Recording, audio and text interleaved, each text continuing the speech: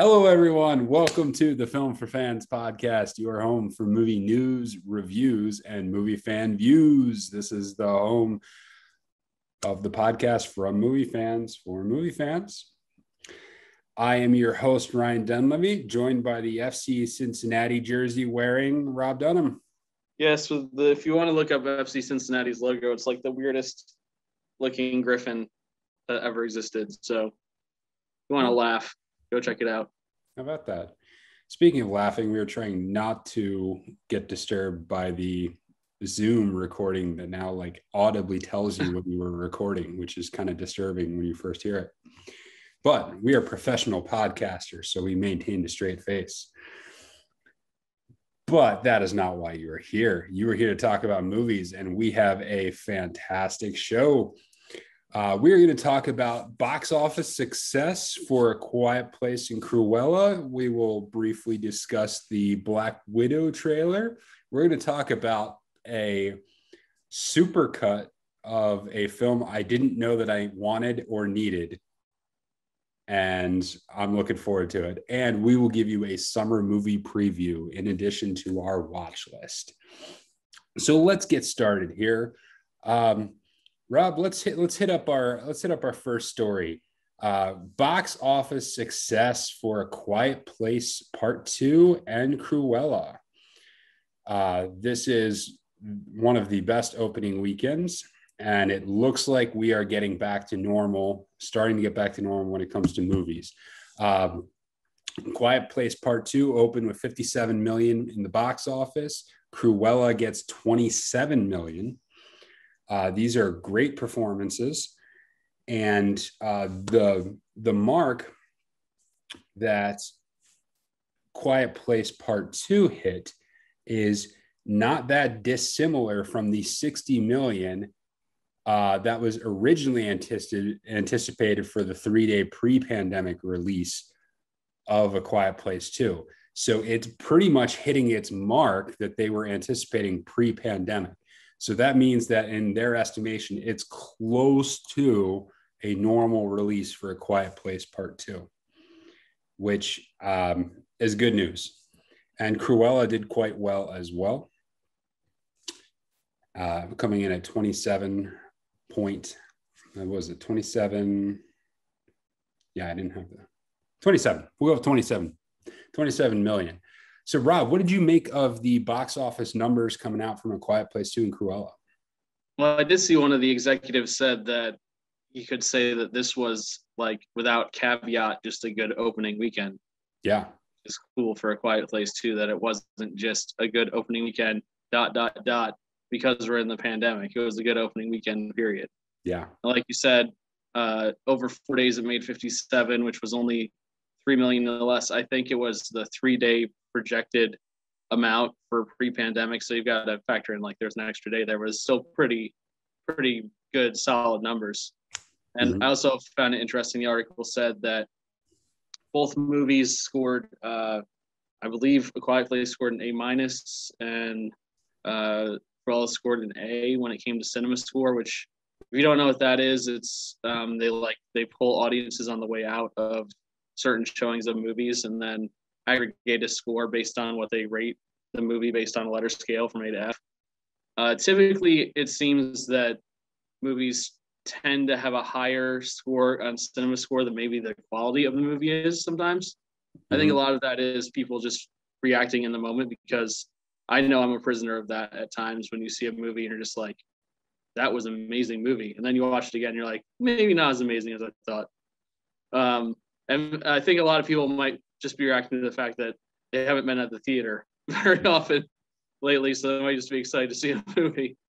Uh, but those scores are in, indicative of them both being solid. So I, I, think that's a good sign as well.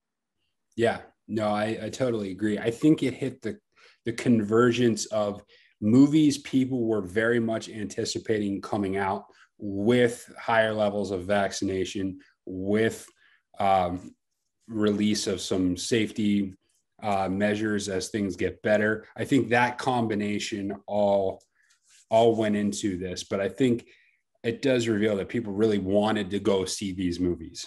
They really wanted to go see it. Uh, in particular, A Quiet Place Two. It's been anticipated for a long time, and uh, I think everyone was ready to go back to it. I I went to see it, which we'll talk about later. I went to see it uh, yesterday actually, and uh, the theater was mostly full, and that was that was on a Thursday evening, uh, about a week after it originally came out. So that's always a great sign. It's been a long time since I've been into a full theater. I mean, you and I both know we've had experiences where we've been in theaters with two and three people, if that. so um, it was it was fun to be back in the theater and fun to be back in a movie that everyone was going to see. Anything else on that one? No, I, th- I think those were the main points the article brought out. Just in general, it's a good sign for things go, especially going into the summer. Mm-hmm. It's kind of like a foothold for what's going to be coming around the corner. Yeah, and I think it does bode well that we are going to have a good summer at the movies. I think the summer box office numbers will be very, very good. Um, maybe not quite back to what they've been in pre-pandemic years, but will be solid enough to warrant big releases. So awesome. Okay, so let's talk a little bit about the the new Black Widow trailer that came out. Uh, Rob, did you get a chance to check it out? I did. Um, I didn't think there was necessarily like a huge amount of stuff we haven't already seen. Right. It was, it's, more of a teaser. The the feel was more of a teaser trailer than like a full yes. length like expositional trailer. So um, I'm just I, I want to see the movie. I feel like I from all all the different trailers over the last couple of years, I feel like I've seen 90% of the movie. I know that's not true, but it just feels like it. I know. I know. And the fact that they kept delaying it and kept delaying and kept delaying it uh, just drove you nuts. Uh, it does it does show um, a lot of a lot of big action sequences. It does show a lot of interacting with her family uh, which is uh, the main crux of the film, is her uh, reuniting with her family and doing that. Uh, one thing that I've thought about with these movies, especially since the Avengers movies have have been a part of it, is how do you craft stories that don't need to involve lots of characters? How can you create craft and create a big movie that you don't feel like why aren't the other ones here? Um, and I'm I'm curious as to how they're going to do that with Black Widow, because like I said, the trailer shows a lots of big action sequences, uh, big explosions, big violence, big things of, of that nature. Is how how does that not warrant other characters? So it will be interesting to see uh, how they craft the story around not needing a bunch of the other Marvel characters. And we're also starting off this phase four of the Marvel movies, and by definition, there there will be a few people in there that we know, like Thor and the Guardians of the Galaxy and Black Widow, etc. But there's going to be some new people showing up that we have not, never heard of. Yeah. And the question is, are the general audiences going to embrace them the same way? Because I think that that question was asked about the Guardians of the Galaxy before they showed up because no one knew what they were. No one knew, like, why is there a raccoon assassin? yes. talking raccoon assassin and a giant tree. Uh-huh. like if you explain that concept to people, they would have thought you were insane. So I think mention, these new characters, we're going to deal with the same thing. The tree who says, I am Groot over and over again is being voiced by Vin Diesel. Yeah. st- it still boggles my mind that they went out and got a giant actor to play a tree who has one line yeah, you're right. And the Guardians of the Galaxy, the characters worked out really well, and and they were fantastic. Uh, it remains to be seen whether the new entrants will be able to hold the same weight and carry the same gravitas as the uh, as the previous iterations did.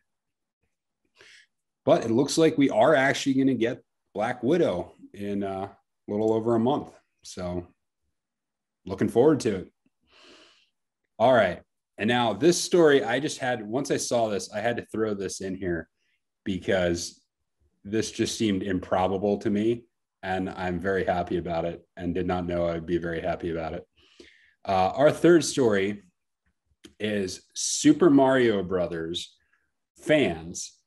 This is the 1993 Super Mario Brothers movie. Are releasing an extended cut of the original film with 20 minutes of new footage. That's right. Those of you who did not even know there was a Super Mario Brothers movie, there is, and it's getting 20 extra minutes. Um, so fans actually put together the Morton Jankel cut, as they are calling it, based on the husband and wife film directing team that have extended the movie from its original 104 minutes to 125 minutes. Uh, never before seen footage. Um, you have Bob Hoskins as Mario, John Leguizamo as Luigi, uh, Dennis Hopper is in there as Koopa. And this is fantastic. Apparently, they discovered the footage on an old VHS tape and then spent time re editing it and recompiling it to make it usable footage, which I got to say is, uh, is pretty good work. It's pretty good work for fans. And they're releasing it on Internet Archive. So you can watch it on Internet Archive. Uh, there's a link to it. We'll link to the article, and there is a link in the article for you to be able to watch the movie. Rob, what are your thoughts on a extended cut of Super Mario Brothers? Not sure how I feel about the concept as a whole, but the idea that there's now going to be a post-credits rap scene is amazing. yes. Because anytime you can get an uh, previously unreleased early '90s post-credit rap scene, yes, I mean, that's just that's gold, Jerry. It's gold. It's gold. Gotta love the early '90s rap, man. Yeah so you know it's going to be over the top and ridiculous. I mean, the original movie itself was already over the top and ridiculous. So the fact that we can find more to add on to it will truly only make it more funny to watch. Yeah, and this was I mean, the early 90s were really kind of the first the first wave when you started seeing video games used as plot points as as basically as the basis, the source material for movies. We had the Teenage Mutant Ninja Turtles uh, movies came out, like the you got the late '80s, early '90s, where people actually started taking the video game seriously, and you started getting a lot of uh, movies based on video games. And Super Mario Brothers was right in that mix. Um, it's always interesting when you take animated characters and then make them live action. And uh, Super Mario Brothers was certain, certainly a take on that fact. Um, whether it was good or not, that you know, to each his own. Um, but I'm I'm very pleased at this.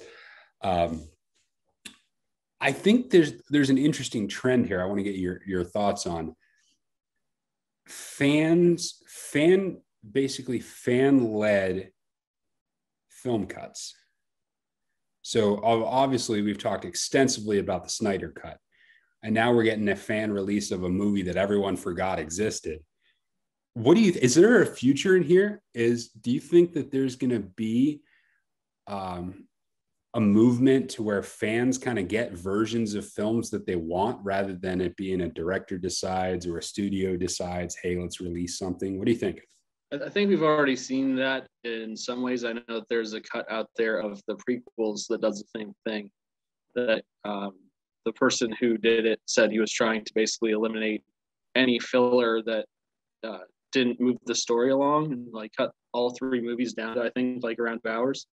Um, so th- these kind of efforts have been done before, and I think when you're looking at the broader conception of like a series, it's probably more likely. But it's pretty cool that something like this happened where they found this extra footage completely randomly on VHS. Yeah. Because that doesn't always happen. No. Um, sometimes it'll happen with regular movies too. We talked um, a while ago about uh, the Muppet Christmas Carol, where that happened, where they found a, a, deleted song and added it back into the movie. So these kind of things can happen um, from time to time. Uh, I do think that, like I said, I think with uh, more epic, like longer series type things, you might be more prone to see something like this. Um, but yeah, I, I think it's an interesting concept for sure. I'm also fascinated as to how it gets that some things get director's cuts or extended cuts or altered cuts and some things don't.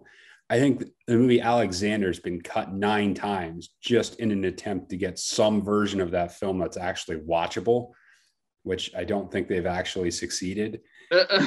um, but they've the watchable like, cut. yeah. And was anyone really demanding this? I think everyone was just like, yeah, that film stinks, and then moved on. Yeah. And they kept recutting it and kept recutting it and kept doing. So I, it's fascinating to me as to what gets cuts and what doesn't.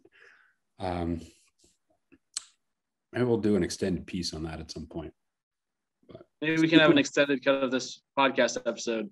you get secretly found in two years. Yeah. I like it. I like it. We'll have to throw in some extra features. Maybe an extra joke or two. I don't know. That's dangerous territory. Okay, well let's uh we'll we'll put the the Super Mario Brothers cut to bed here. Um our next story, let's move on to our discussion. So our discussion for the episode revolves around summer movies. So now I think we can say, now that we've hit Memorial Day weekend, which is kind of the traditional opening weekend for summer movie season, now that we've hit Memorial Day weekend, uh, we are we are at the beginning of summer movie season. So we thought it'd be cool to go through a list of summer movies, uh, a lot of which will be in the box office. Some of it are some of which are coming out on streaming services, as to what give you a, like a preview of some films that are coming up that we're excited about, ones we're not excited about, and and some that are underrated. So we will post a, a list. This comes from an article on IGN previewing summer movies, uh, 32 films to look forward to. All right, Rob, I'll give you first crack. We'll go back and forth on this. Let's start with movies we are most anticipating. Uh, so top of my list, and it's not because it's a good movie, uh, Fast and the Furious 9 F9 just because. Yes. Having, having, watched all the rest of them, I'm just ready to see a, a, new one. Ready to see more craziness, ready to see cars with magnets flying off cliffs and being caught by more magnets and being repelled by magnets in the middle of a street. And I don't know what else is happening, but uh, people are coming back from the dead. Uh, it's just going to be exciting to see. Yeah. I, really, I as as much as uh, the series does get some uh, backlash for not being the best movies, they have done a very it, it's to their credit, uh, in my opinion. They've done a very good job at establishing a strong, connected, recurring cast, which is not an easy thing to do across that many movies. No. And granted, in like Tokyo Drift, they moved away from that a little bit, but overall, in, in the movies as a whole, there's been these people who keep coming back and back and back. So when you see them in a new one, you're like, yeah, I know that person. Like I know how he acts, I know how she acts, I know what they're gonna say. You know, it's it is it's corny, I guess, but it is kind of like a, it has a family feel mm-hmm. to the series. You know, whether whether you think the movies are great or not, they've definitely succeeded at having that kind of atmosphere around the cast. Yeah, for sure. I'm I'm very much looking forward to this as well, um, and the return of Han, the return of Han. I can't wait. Um, for me, I'll go with the cliche answer. I'll go with Black Widow uh, for my first one. We've talked, we just talked about that a number of times. Um, but it'll be it will be good to see a Marvel movie again and to get it finally get a sense of where they're headed for the next wave. I think this will be an early indicator of what we can expect. So looking forward to that. What else you got? Uh, I guess the other one that jumps out of the list to me is Luca, just because I I really like animated movies and I really like Pixar. So I'm I'm uh, fascinated by this storyline of kids who jump into the water and turn into sea monsters which is just it's off the wall bizarre and right in line with a lot of things that Pixar has done. And I think the animation art style looks pretty phenomenal and a little bit different from what they've done before. So I'm excited to see it. It looks uh, slightly more, I don't, know if you would say realistic because animation tends to not really drive towards realism, but uh, in a different vein than a lot of the animation they've done before. So I'm very interested in watching that one. That comes out this month. Okay. Uh, for me, my next one, I'm going to go with the Tomorrow War. Uh, this comes out July 2nd on Amazon Prime. Uh, I've been quite critical of streaming service movies. However, this one is a little bit of an exception because this was actually supposed to get a theatrical release and then they moved it to streaming services because of pandemic. I wonder if they would like to have that decision back now. Uh, but this is a movie starring Chris Pratt, Yvonne Strahovski, J.K. Simmons, Betty Gilpin. So it's got a really good cast, and it's being directed by the director of the Lego movie and the Lego Batman movie, Chris McKay. Um, and the, the film basically is about soldiers who travel from present day um, into the future to fight against an alien invasion. So I would anticipate this being heavy on the action, light on the plot. Uh, but it will be interesting to see Chris Pratt in something else. It's been a while since he's done other things. Uh, but he's a good actor, and I always enjoy him, whatever he's doing. Yvonne Strahovski is very good. J.K. Simmons is always good. He's a, he's a highly underrated actor. So we'll see about this one. Um, I wish it were coming out in theaters, but I'll check it out on Amazon Prime. All right, you got do you got another one, or should we move on to the ones we are not looking forward to? Uh, I didn't know we were doing not looking forward to. I had I had uh, looking forward to an underrated. okay. All right. Well, I will start out with ones I am not looking forward to. If you feel like jumping in, you can. Otherwise, sure. I mean, I'll look through the list as you talk. Okay. So the first one I will say I am not looking forward to Space Jam A New Legacy. I got to say, I am not down with this. You don't mess with the original Space Jam. It's not, it's just not going to have the same feel. LeBron is not Michael Jordan. He just isn't. Sorry. Not working. Not anticipating it. Nope. Not doing it. That's my yeah, thoughts I on that. I agree with you. Gotta, gotta say, I agree with you on that one. Yeah. So no to Space Jam: A New Legacy coming out July 16th. Uh, the other one, which I wasn't going to have on my list, but I got added to my list after I saw the original trailer, the initial trailer last night, is The Hitman's Wife's Bodyguard. Mm. If that's not a mouthful of a title, geez. Um, this is a sequel to The Hitman's Bodyguard and it has a great cast. It's got Samuel L. Jackson and Morgan Freeman and Ryan Reynolds and Salma Hayek. Maybe I just don't get it, but it looks dumb. It looks super dumb. Sorry, it just does. Um, the trailer, uh, when watching the trailer, the action was whatever. The dialogue just seemed ridiculous. It seemed ridiculous. So I am not anticipating the Hitman's Wife's Bodyguard, which comes out June 18th. Yeah, I, I would say uh, I have not watched enough of the trailers to have an opinion either way. In fact, I need to watch the first one because I probably can't should shouldn't develop my full opinion until I see the Hitman's Bodyguard, which I I have I think in my Vudu account for my brother, so I should check that out. Um, I I don't think there's any here that I'm like eh, other than uh, Space Jam, they said. But I will say one that's I'm very much in the middle. I'm not sure how it's going to go. Is old, mm. and I, I'm hesitant about this one and a little worried about this one because I really like M Night a lot. Yeah, and I feel like uh, with Split, uh, with Split, he kind of did a good job at coming back a little bit. Mm-hmm. And so I'm hoping that continues. I'm just not 100% sold on the concept. So I really want to see what he does with it and how it goes. I think it could be really good or really bad, and I'm not sure what it's going to be yet. Yeah, I'll agree with that one. All right, so what do you got for uh, what do you got for un- underrated, or uh, uh how the, I worded that underrated? Yes, uh, the first one I've got is In the Heights, which is uh, Lin Manuel Miranda's first musical. Uh, mm. Music did before Hamilton. It won uh, several Tony Awards on Broadway.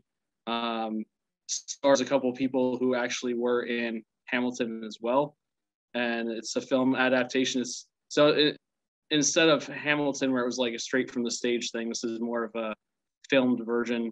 I guess you could think of it like a West Side Story kind of uh, adaptation of a play to film, I guess.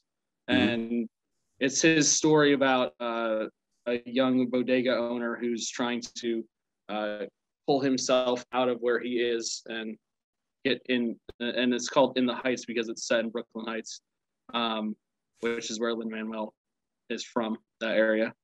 Uh, so I'm very excited to see that because I, I like Lin Manuel Miranda a lot. I like his style, I like his music, and he wrote the music for this as well.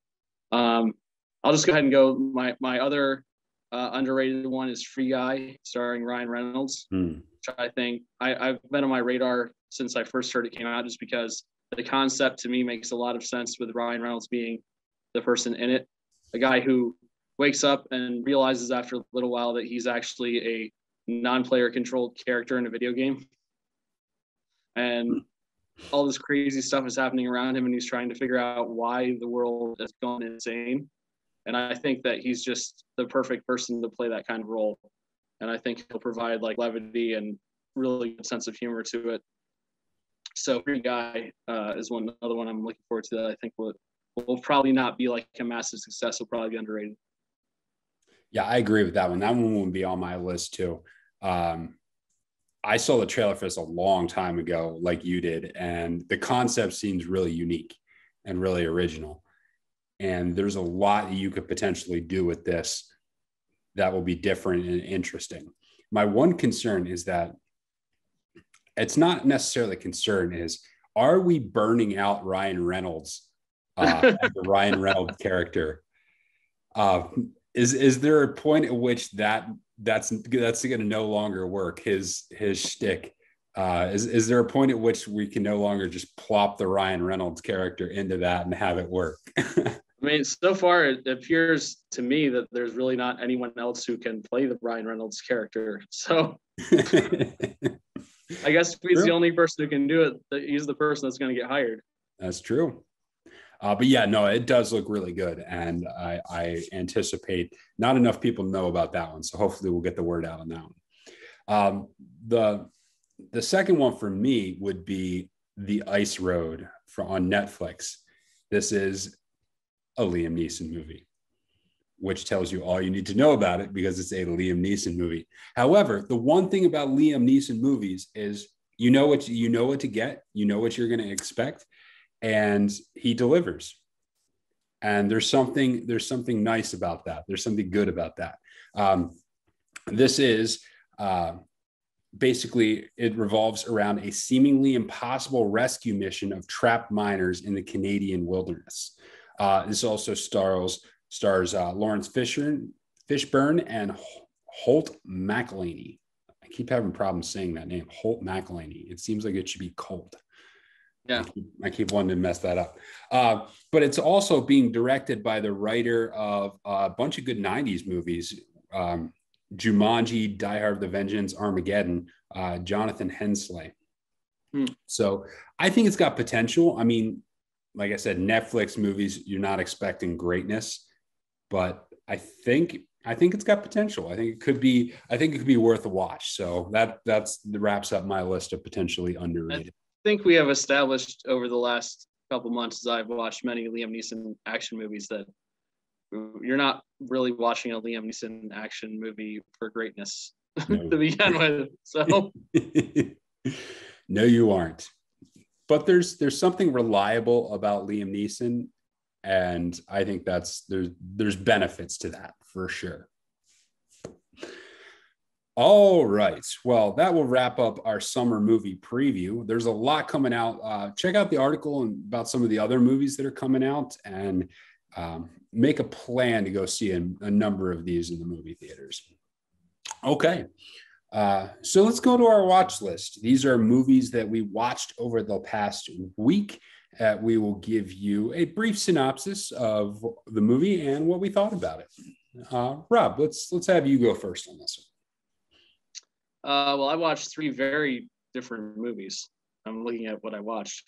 Uh, the first one I watched was Battle Los Angeles, mm. uh, starring Aaron Eckhart, which is uh, basically about an alien invasion where the aliens are trying to siphon off the Earth's water supply and they kind of attack out of nowhere. Originally, people think that it's meteors that are going to hit the Earth, but it turns out to be aliens.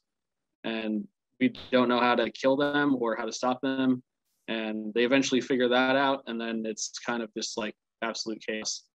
And Aaron Eckhart plays uh, Marine, uh, higher up in rank, who is deciding to leave uh, the military. And like the day, the day that I retire, they pull me back in. You know, the classic, uh, classic trope. They're doing exercises, and his boss says, "You need to go with these people because they need you to lead them." Okay, and uh, does have some interesting emotional subplots. The one person under his command is a brother of someone who had previously been under his command who had died in action. So that's a whole thing that goes on throughout the movie, and um, it's it's not a great movie, but it's a slightly different take on the alien invasion movie. So I appreciate it, but I, I didn't think it was great. Um, uh, another one I watched was Blue Streak, starring mm. Martin Lawrence, which is about as different from that movie as you could get. Yeah, for sure. uh, 90s uh, comedy, 90s R-rated comedies. If you've ever watched 90s R-rated comedy, you know exactly what you're going to get. A lot mm-hmm. of swearing, um, a lot of needless violence, and just absolute absurdity. Uh, Luke Wilson plays the uh, his his co-worker in the police station. Although Martin Lawrence is not actually a police officer, he just goes in and pretends to be one and ends up infiltrating the entire police department. He's actually a thief and has a very interesting ending that when it ended, I looked at my wife and said, there's no way that would ever happen in real life. that's that's yeah. 90s comedy for you. It doesn't have to make sense. It just has to make you laugh. That's right. Um, and then the other one I watched, as I said, these three movies are all different from each other. Is The Cutting Edge from 1992, which oh, okay. is a movie if you've never seen uh, this is one of my wife's favorite movies. So my wife recommended Cutting Edge, and I actually thought it was pretty good. So to be fair, um, it's about a figure skater who has been to the Olympics and failed, and is frustrated, and she's thinking of giving up because every partner that she has no good. And uh, there's a hockey player who gets injured in a hockey game and can't play anymore. He basically gets slammed to the boards and has issues with peripheral vision that will limit him from being able to play hockey again. And they go out and scout him and have him come in to be her partner, someone who has only played ice hockey, never figure skated before. So again, realistic nature of the movie, not super high, probably, but it is funny and it's heartwarming. And uh, my my biggest issue with this movie, if you have not seen it, my wife said it's explained in the sequel the the entire movie is leading up to this. This is a spoiler alert, so if you have not seen The Cutting Edge, it's tough. Um, it's it's leading up to this end scene at the Olympics, and they show their whole Olympics routine, and then it goes black to the credits, and it doesn't show you what happened. So, did they win? I don't know. and the sequel was a long time later, if I'm not yeah, it was it was I think like nine years later or something. And it's yeah. like uh so the so you're telling me that the entire point of the movie you're not gonna tell me what the answer was. Yeah. Okay. mm-hmm. so that made me a little upset. But overall, I thought it was a good movie. I thought the acting was pretty solid it and definitely for an early 90s uh, romantic comedy, if you want to classify it as that, it's pretty quality. Excellent. Excellent. Uh, so I also watched. Um, I also watched three movies, and they were also a little bit different. Uh, the first one I watched was Jurassic Park three. This came out in two thousand one, and the plot of the movie, aside from dinosaurs eating people, is a a boy and his mother's boyfriend, I guess, uh, go on parasailing trip near uh, the B site, site B, which you found out more about in Jurassic Park: The Lost World. Uh, a boat you know, something happens, boat gets destroyed, they end up stranded on the island. And so then the parents of this boy team up to basically manipulate Sam Neill into coming back to the island. He was supposed to just be giving them a tour as they flew over. They landed the plane, and the rest is history. Uh, this was probably the weakest installment in the Jurassic Park series. Really, the only thing it adds to is they re- the return of Sam Neill. Basically, that's about all you get out of this film. I mean, you get you get the classic dinosaur versus human action sequences. It's not a bad movie by any stretch. Uh, but would this series be any different if this movie didn't exist? No, no, it really wouldn't. Uh, so I think it was basically just, hey, we get Sam Neill back, and we got Malcolm. Now we get Sam Neill back. Eh, so I mean, it's not a it's not a bad movie, but it's it's it's nothing to write home about. Um, the second one I watched was Dead Poet Society from 1989. It's a classic film.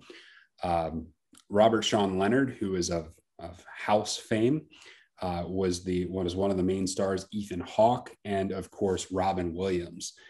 And Robin Williams was excellent in this movie, as Robin Williams really was a really really good actor, uh, playing a lot of different serious roles uh, but this is this is it's a really really good movie. It's it's an incredible movie about the power of teaching, um, about you know how we think, how we act. Um, I will say that my one my kind of one beef with the movie is, um, and again this we get into a little bit of spoilers here, is they place a lot of the blame almost they place exclusively the blame on the father. And i do think robin williams character should share a little bit of the blame in this one. They set it up as robin williams is the innocent scapegoat and the father is the is the big evil character completely responsible for everything. I think that's mostly true but not entirely true. I think it could be made the case could be made that robin williams uh, set in motion things that were that that his students were not necessarily emotionally mature enough to be able to handle. Mm. So just just some thoughts on that. What what are your thoughts on that? Yeah, I have to say I agree with that. I think that his character is someone who wanted to broaden their horizons and push them and may not have been prepared for exactly where they were going to go when they got pushed. Um, obviously he he is a force of will that these kids rally around. Mm-hmm. And, uh, anytime you have someone in that kind of role, any kind of leadership role, uh, you don't always know exactly how people will react to that or how they will respond emotionally to it. So I, I, I, I haven't really had that discussion with people before, but I can see certainly why that um, why that argument would be made, and it makes sense yeah. to me. And like you said, I also think it should be emphasized that Robin Williams was a phenomenal actor because a lot of people just think of him as funny, haha guy, but he was he was an incredible talent, um, and it is it is a shame, you know, that he he left when he did because I I really think there was a lot more he could have done. Yeah. Yeah, so if you have not seen Dead Poet Society, that is a must watch.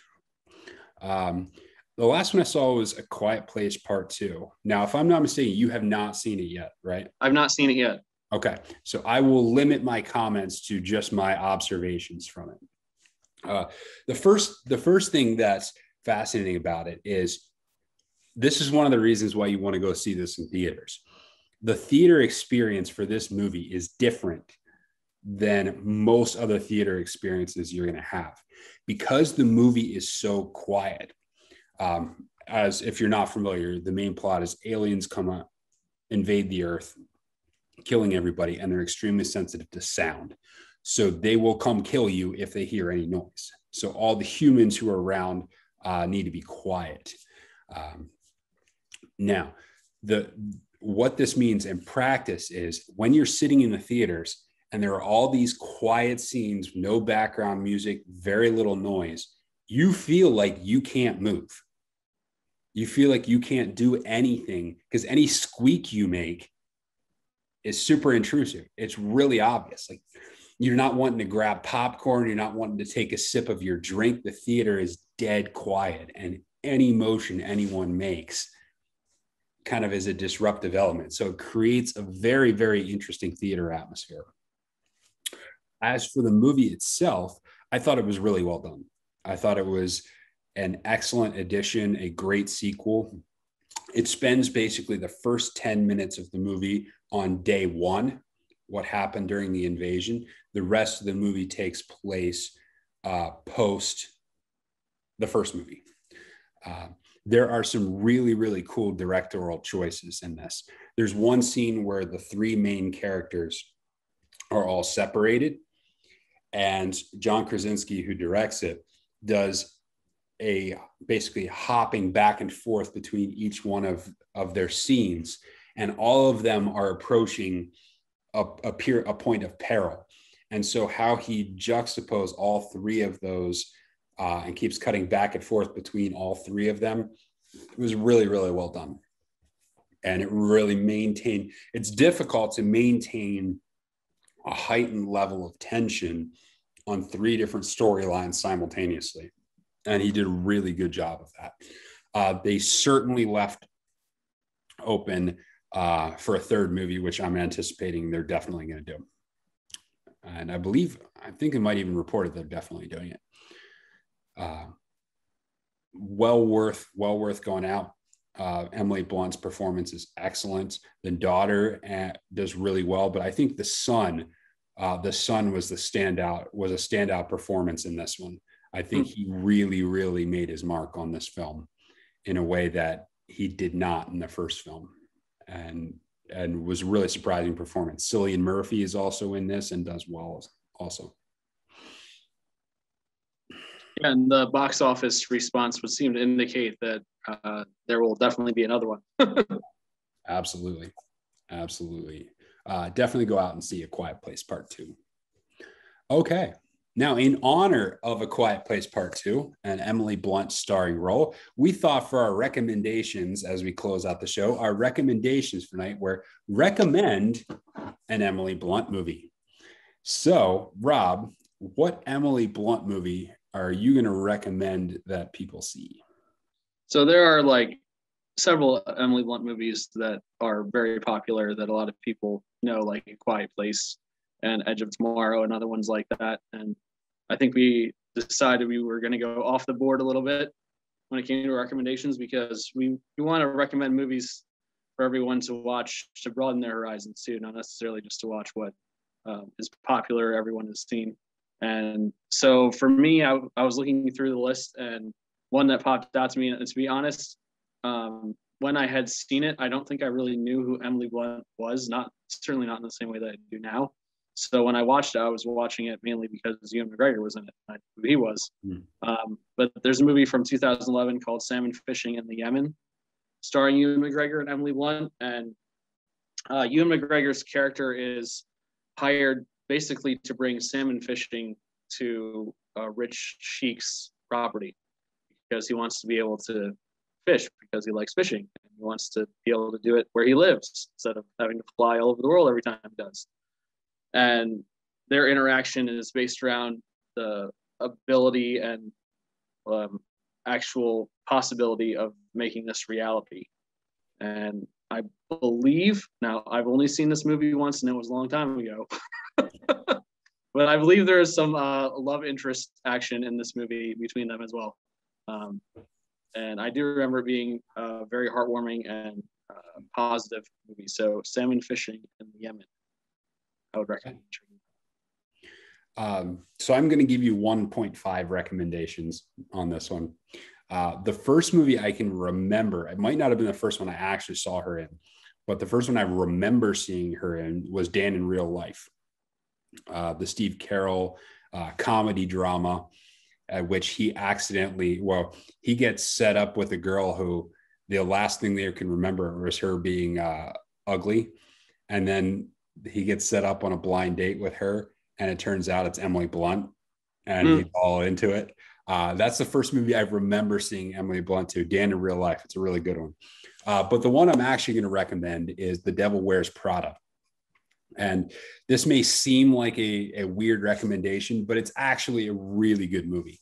Uh, Emily Blunt plays the snooty uh, first assistant to Miranda Priestly, who is a fashion icon, who's like the head of the fashion world. And Anne Hathaway plays the new secondary assistant.